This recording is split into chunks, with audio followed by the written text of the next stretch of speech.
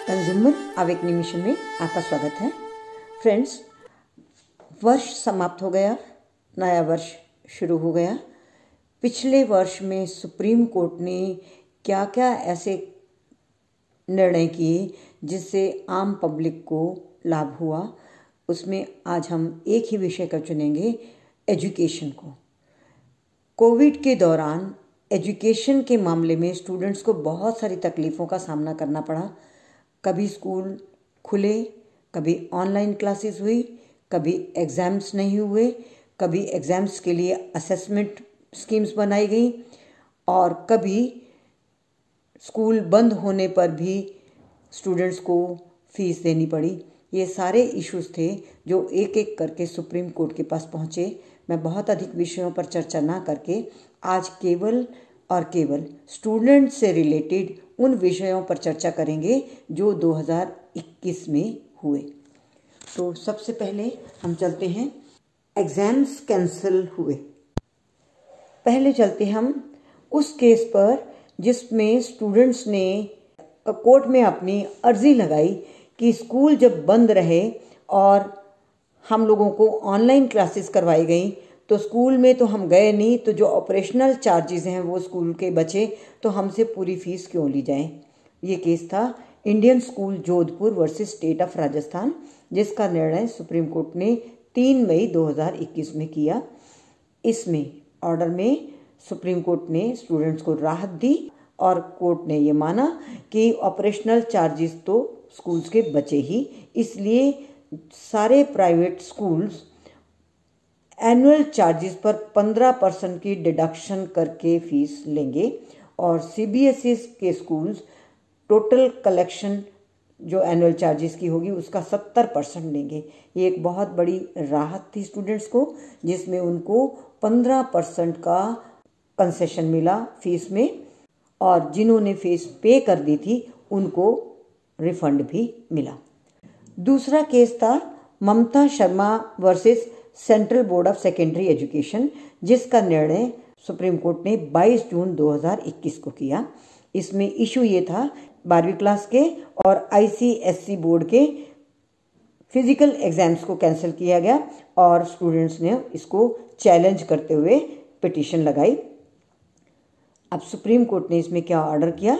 Supreme court का मानना था कि ये वेल इन्फॉर्म्ड डिसीज़न था।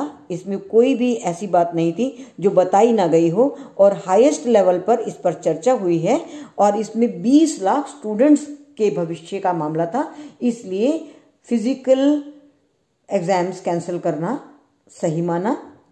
और दूसरी बात असेसमेंट के लिए जो फॉर्मुलेटेड स्कीम्स थी सीबीएसई की या आईसीएसई की, उनको भी चैलेंज किया गया और कोर्ट ने माना कि ये उनका स्टैचुटरी फ़ंक्शन है। इसमें हमको कुछ कहना नहीं है और कोई इसमें सेकंड गेस की आवश्यकता नहीं है। कुछ भी ना अनफेयर था और ना ही कुछ गलत था।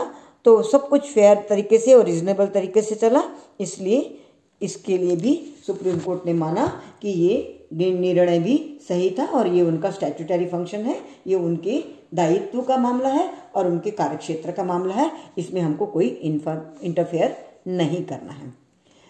तीसरा केस था Anubhav Srivastava Sahay versus union of India जिसमें ये कहा था कि ये जो असेसमेंट स्कीम्स हैं, इनको सरकार जल्दी से जल्दी नोटिफाई करे या सीबीएसई e जल्दी से जल्दी नोटिफाई करे ताकि हमें पता चले कि बारहवीं कक्षा के ये जो फ़िज़िकल एग्ज़ाम्स नहीं हुए, उनकी असेसमेंट स्कीम्स क्या थी। इसके लिए सुप्रीम कोर्ट ने डायरेक्शन दी कि तुरंत दस दिन के अंदर अंदर असेसमेंट स्कीम्स को बताया जाए सबको और उसको ओपन किया जाए और बोर्ड को भी ये कहा कि आप इसको फॉर्मुलेट कीजिए और डिक्लेयर कीजिए कि अंटर 31 जुलाई तक आप इंटरनल असेसमेंट रिज़ल्ट भी डिक्लेयर करिए, ताकि स्टूडेंट्स को आगे जाने में सुविधा हो और पब्लिक एट लार्ज आश्वस्त हो सके कि बारहवीं के एग्ज़ाम कैंसिल होने के बावजूद भी उनके लिए एक असेसमेंट स्कीम है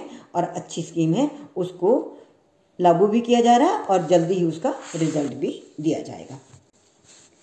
नेक्स्ट केस था Anubhav Srivastava Sahay versus union of India का ही जिसमें ICAI chartered accountant of India इस संस्था को डायरेक्शन देने के लिए कहा गया था।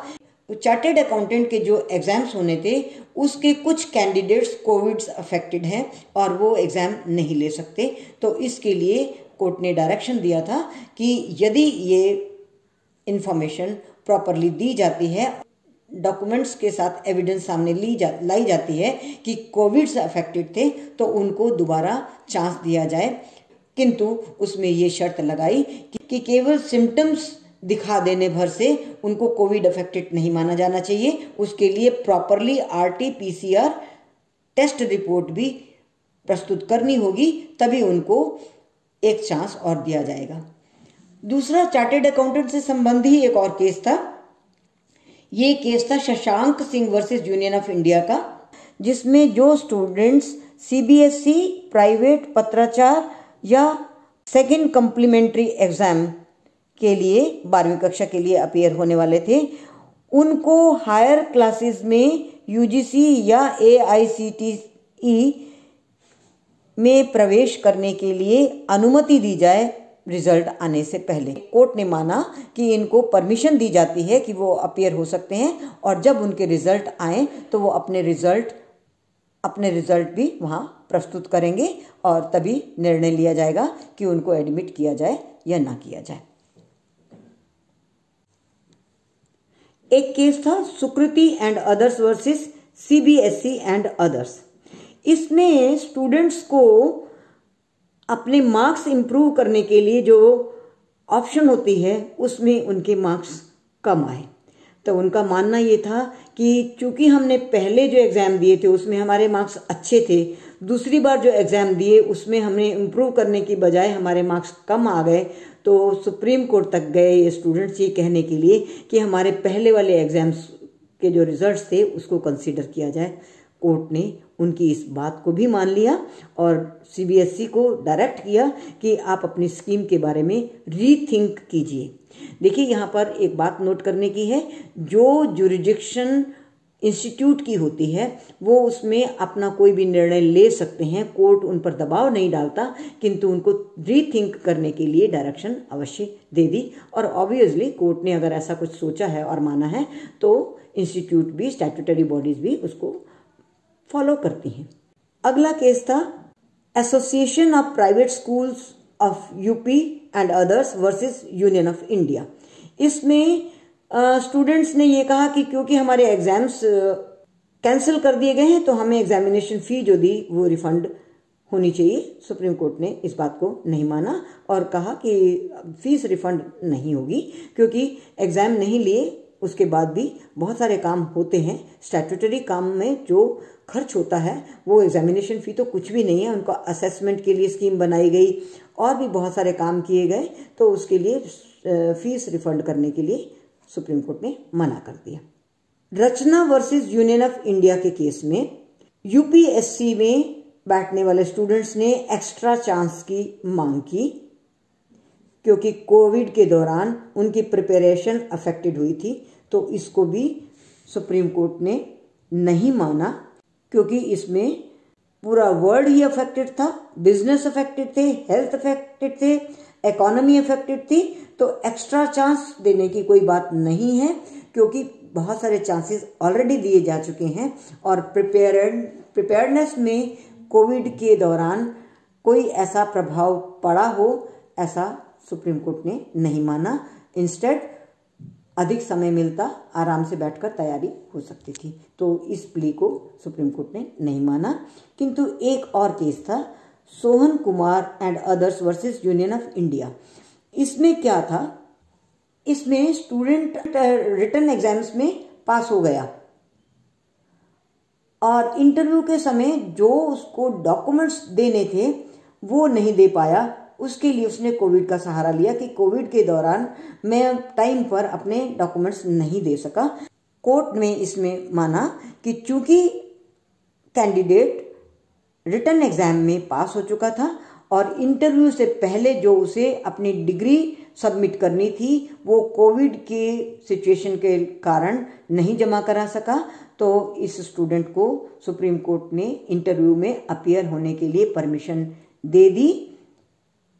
और अथॉरिटीज़ को डायरेक्ट किया कि इसको इंटरव्यू में बैठने दिया जाए और वो अपनी डिग्री अब सबमिट करा दे। इसी तरह का एक और केस भी था same Deepak Yadav versus UPSC इसमें भी और वैदेही गुप्ता वर्सेस यूपीएससी इनमें भी इसी तरह की सिचुएशन थी और सुप्रीम कोर्ट ने अथॉरिटीज़ को डायरेक्शन दी कि इनको इंटरव्यू में बैठने दिया जाए। Thank you very much friends बहुत सारे केसेस में सुप्रीम कोर्ट ने बड़ी राहत दी स्टूडेंट्स को। फ़ीस से लेकर एग्जामिनेशन में बैठने तक और एग्जामिनेशन से कंसर्न सारे इश्यूज़ को सुप्रीम कोर्ट ने 2021 में सॉल्व किए। We are thankful to supreme court और आप भी हमारे साथ बने रहिए। हम इसी तरह के नए विषय लेकर आपके पास आते रहेंगे। हमारे चैनल को यदि सब्सक्राइब नहीं किया तो सब्सक्राइब कर लीजिए। आइकन बटन को ज़रूर दबा दीजिए ताकि हम आपको अपलोड्स रेगुलरली देते रहें। Thank you very much